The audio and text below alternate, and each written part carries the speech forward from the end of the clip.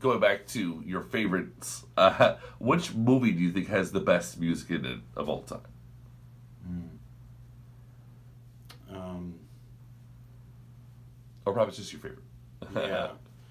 Uh, well, I think you know I could go to a bunch of classics, but if it's okay, I'll go back to Gabriel Yared and Yeah. talk about the lives of others. He spent a, a bunch of time not composing uh, Hmm. after some crazy disagreements that you guys can look up online Oh, wow. um, involving a score that of his that didn't get released, and then came back to the lives of others. That one uh, Academy Award for Best Foreign Picture of the year it came out.